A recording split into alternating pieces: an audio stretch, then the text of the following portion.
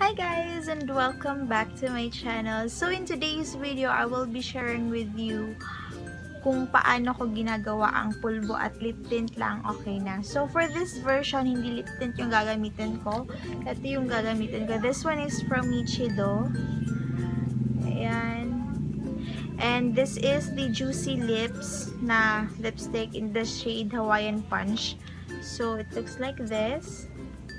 Ayan. And then, I will be featuring some of the affordable makeup products na available dito sa ating country, which is the Philippines. So, if you wanna know how I did my everyday makeup look and a very on a very tight budget, please keep on watching. So, first, you have to moisturize your face. Pero ito, hindi na to kasali sa computation, guys, ha. I am using the Celotech Dermascience na Sunscare. Sunscare. Suncare. And then, apply it all over my face. Especially sa cheeks. Kasi, wala lang. Gusto ko lang doon. Ayan. And then, after putting that all over my face, hindi ko na siya lalagyan ng primer kasi wala nga tayong budget. So, since wala tayong budget, guys, I will be using this Maybelline Fit Me Concealer in the shade 20 or yung Sensable. Ito siya. And then, this one is 199 pesos. So, yan. Okay na okay siya for your budget, guys. And then, ilalagay ko lang siya underneath my eyes. And then, on the bridge of my nose. Dito lang sa mga may blemishes. So, since yung face, full face ko yung may blemishes, lagyan natin lahat ng part. Kasi ang dami kong pimple marks na hindi pa nabura. So, ayan. Hindi tayo magpa-foundation, guys, since wala tayong budget for a foundation. So, concealer is fine. Kasi, yun na yung affordable dito sa collection ko. And, I know, afford nyo din yon So, ito yung side na tapos na ng concealer. So, as you guys can notice, na-cover naman din niya yung mga redness, pero hindi lahat ng blemishes naka-cover, especially yung mga veins ko dito. So, okay lang yun kasi, kasi, kasi, everyday makeup lang din naman yung ginagawa natin. So, hindi dapat makapal kasi nga, everyday lang nating makeup. So, it's either andito tayo sa bahay or pupunta tayo ng mall. So, yun yung mga time na gagamitin natin tong everyday makeup natin. So, ayan. So, ayan. Ito na yung face natin with the concealer. So, para-paraan lang din yung pag may makeup, guys. And then, to set everything, Johnson's Baby Powder. Alam niyo na to. Kasi ito yung lagi kong ginagamit pang set. Aside from from affordable or aside sa affordable siya, um, it's good for your skin kasi nga, pang baby siya. So, ayan. Ibibake lang natin yung ating entire face using this powder para mag-last yung ating makeup the whole day. Ayan. Bake muna natin and then we will be doing our brows. After that, yan. Don't forget to blend it down to your neck para maging pantay yung kulay.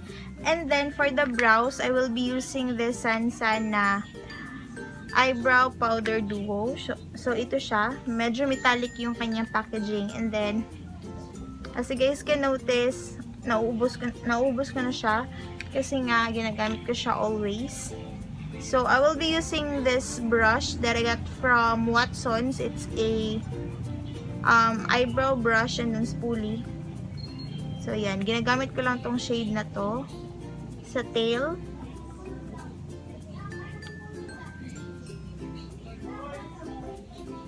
And then, just follow the shape of your brows para hindi siya masyadong halatang nilagyan ng product or mas natural looking.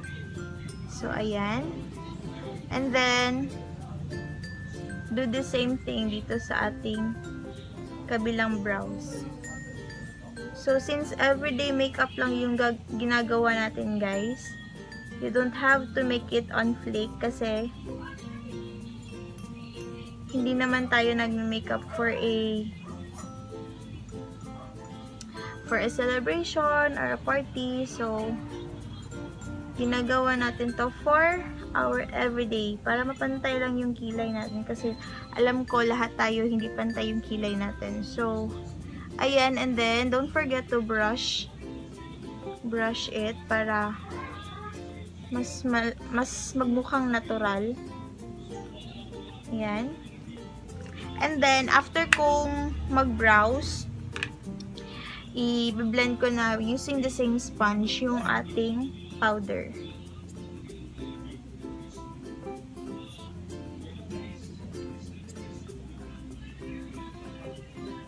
So, ayan. After kong iset yung aking face, I will be doing my blush. So, for the blush, you can use your lipstick. Oh, mas okay din to if una siya before, before the powder para yung mga cream products like yung concealer tsaka yung lipstick is parang pareho silang mag-set. So, since nakalimutan ko siya kanina, ngayon ko na lang siya i-apply. So, you can use this directly into your cheeks kung kayo lang naman yung gumagamit ng lipstick nyo. So, you can use that. Ayan. And then, blend it with your sponge again.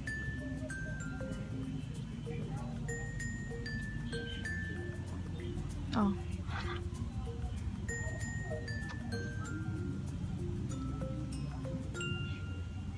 So, mas better talaga if una siya before yung powder kasi mahirap na siyang i-blend once na may powder na. So, ayan. Yan, parang ano lang, drunk blush. So, blend it really well, especially if naka, nakalagay na kayo ng powder kasi nagiging mas mahirap siyang i-apply. And then, using using the same lipstick, um, lalagay ko lang siya sa aking lips. So, ayan.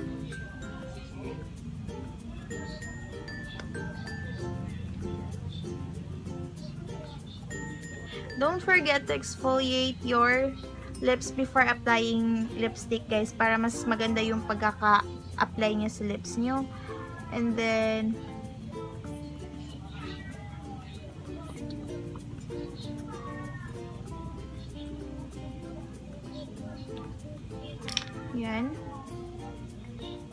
Since itong lipstick na to is a bit medyo siya, medyo may pagka shiny or what. So, hindi ko gusto yung ganon. Gusto ko yung matte. So, maglalagay ako ng konting pulbo dito sa aking kamay and then sa aking sponge.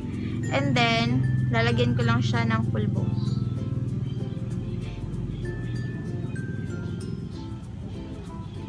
So, yan yung ginagawa ko, guys.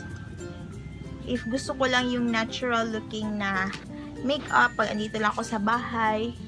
And then, don't forget to blend it to your neck para mas maging natural tingnan. So, ayan.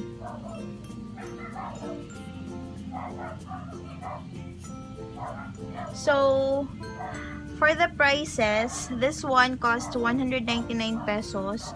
And then, Itong Nichido na lipstick cost 100 pesos pero it comes with a palette na itong palette na to. So, I think if I'm going to divide by 2, 50 pesos lang to guys. So, you can check this sa counter ng Nichido. Okay na yung shade na Hawaiian Punch. And then, so, 250. And then, for this powder, um, this cost, I think, mga 16 pesos lang. So, yan.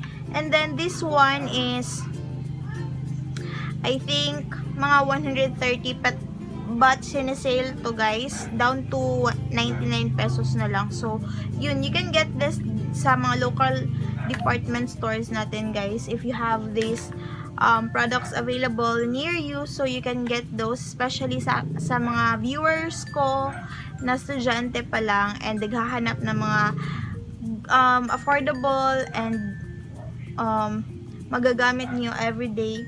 So, eto na guys, sapat na. Like, nag-start din ako sa, um, sa mga products na, yun, yung pinakita ko, um, nag-start din ako doon before um, before buying expensive um, foundations. Like, para sa akin ha, expensive na yung 500 pesos. So, if you can't afford to buy foundation, so, use what you have in your vanity. Especially yung concealer kasi alam naman natin na yung Maybelline nagsisale. So, etong concealer na to, I think 199 na siya yung price niya for this. Kasi, may nilaunch silang ibang concealer. So, minark down nila yung price nitong concealer. And this concealer is a good concealer ha. Hindi to, hindi to pucho-pucho na concealer. Maganda tong concealer na to. So, ayun lang guys for this makeup tutorial. I hope um, na-inspire ko kayo. So, gusto ko lang i-share yung mga knowledge ko about makeup because I know that there a lot, there's a lot of girls out there na gusto mag-makeup but they think na makeup is expensive. So, you can do your everyday makeup look using affordable products na available sa counter na meron sa mall. So, ayun. You don't have to um, splurge or you don't have to spend a lot of money para magkaroon ng ganitong face. Like, hindi naman tayo always na nagko-contour or what. So, or nag-eyeshadow. Ako, hindi ako masyado nag-eyeshadow, guys. Kasi, um, parang hindi siya natural looking. So, gusto ko lang yung parang may blush konti, and then my lipstick, okay na ako doon, then my brows. That's that. If you want to put some mascara, go ahead. Meron din sa mga Everbelen or Careline. Careline has um, beautiful mascaras available. Um, yun lang. So, I hope you guys enjoyed watching this video. Please like and subscribe to my channel and sana mag-comment kayo down below kung ano pa yung mga videos na gusto nyo mapanood from this channel. So, that's it for this video guys. Thank you so much guys for watching. Bye!